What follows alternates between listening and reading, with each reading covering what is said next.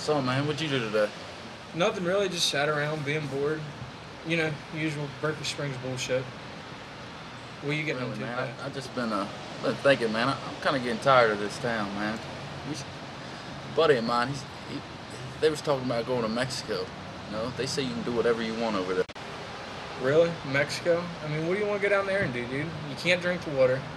And uh, besides that, there's just beaches. Unless you're going to go down there and pick fruit for a living.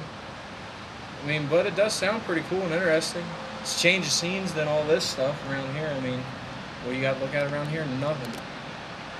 I don't know. When would you want to do it? I'm, I'm not really sure, man. I, I kind of want to do it soon because I'm getting tired of, tired of living around here like this.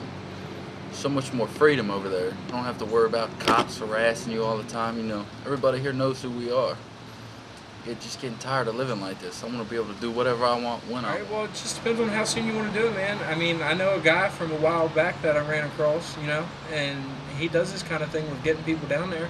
If we need him to do it, he just told me to let him know when I ever needed a favor. So we can do it whenever you want to do it. What's something like that cost? You got, I mean, you got this guy's number. Maybe we can, maybe we can go check him out now. I mean, we ain't even got to call him. We can just leave now and go stop by and talk to him if that's what you want to do. Let's, let's go check it out, All right, let's go. You driving?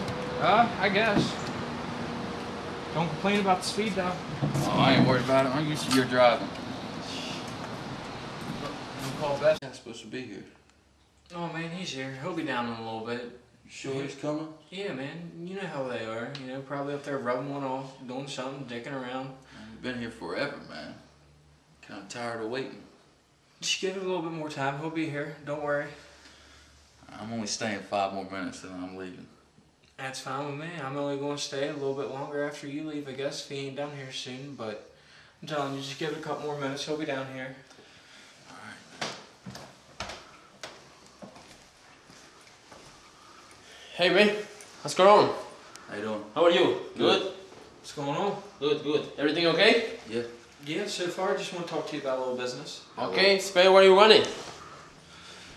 Well, uh, we're trying to uh, see how much it would cost to get us over. Uh, we want to go to Mexico.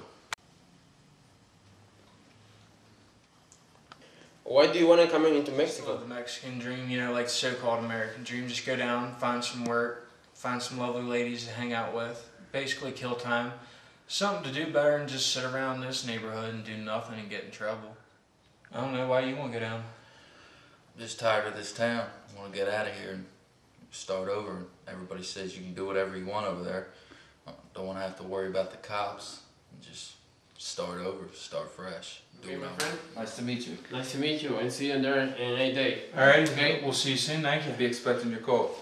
Cool, take care.